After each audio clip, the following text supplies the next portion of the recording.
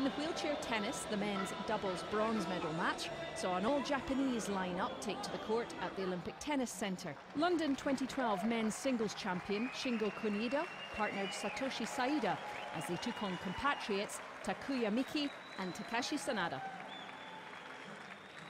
We join the action in the first set with Kunieda and Saida leading by five games to three.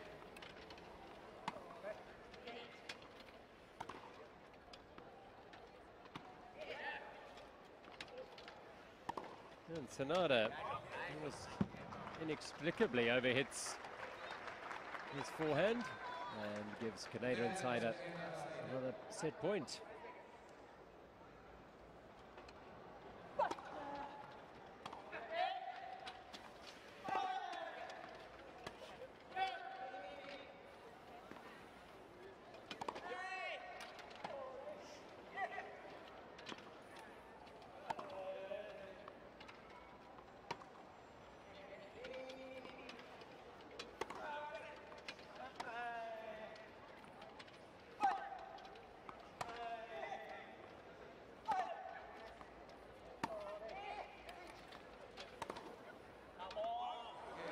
And another from Sanada.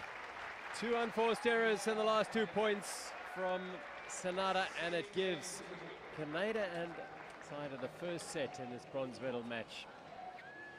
The first set lasted over an hour, and the second was no different.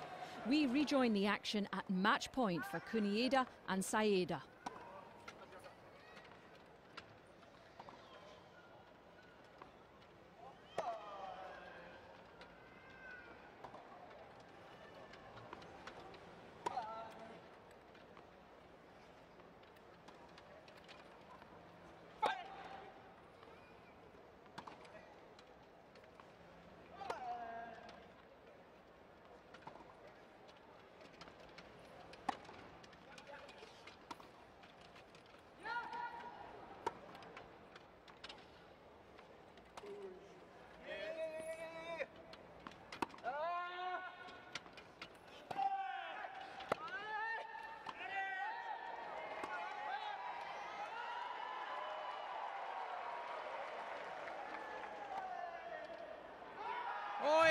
It's over the back from Miki.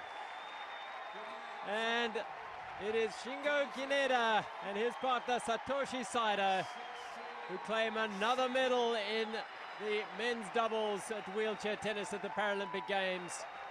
What a battle it was.